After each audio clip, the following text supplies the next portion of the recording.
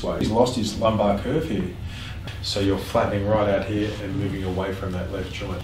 Yeah, so you're not walking, walking too bad. Mm. It's just the leg Mhm. crossing the knee. It's Mm. likely the disc is involved, yeah. and there'll be some inflammation on the disc at least. Mm, All right. yeah. So um, it is stating here you've got a disc protrusion. Yeah, So that's working. All right. Okay. Information about heat either side of the spine, Yeah. and whether any nerves are affected. Mm-hmm. Spongy through here. That's going to be tender for you right there. You feel that? I can feel. So I can just on the basis of the swelling over that S1. Ah, yeah, yeah. That's where your problem is. Okay, it's in the left pelvic joint. And see, all of his lumbar is affected. That's all rigid there, I can feel till here. Yeah. right down there. So when I touch here, you can It- feel it. yeah, there, till here. Rest up. We need to get this pelvis clear. You don't like that at all. Yeah. It, oh. All right. I mean, So it's it's like. fixation. Uh, It's like a knife going right through, yeah.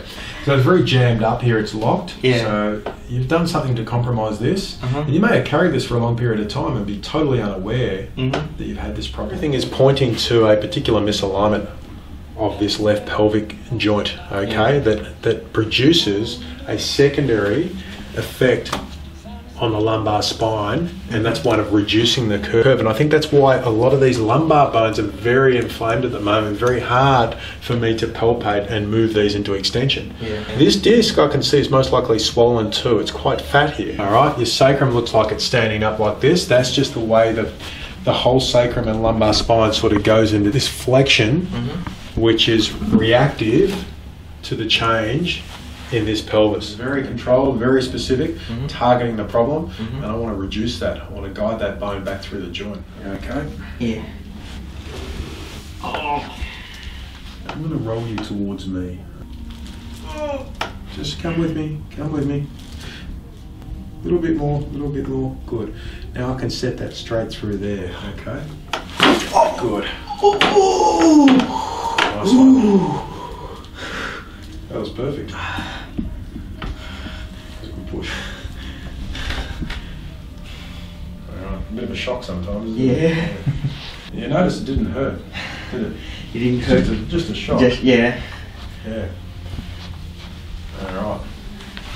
In fact, some people say it feels really good. Yeah. It, it, the- the it really right good. moves, yeah. Yeah. It's really good. Yeah. Alright. Just have a walk up and down the hall. How's it feeling? There's no pain here. Yeah. I can feel a little bit pain. It's certainly moving quite well now.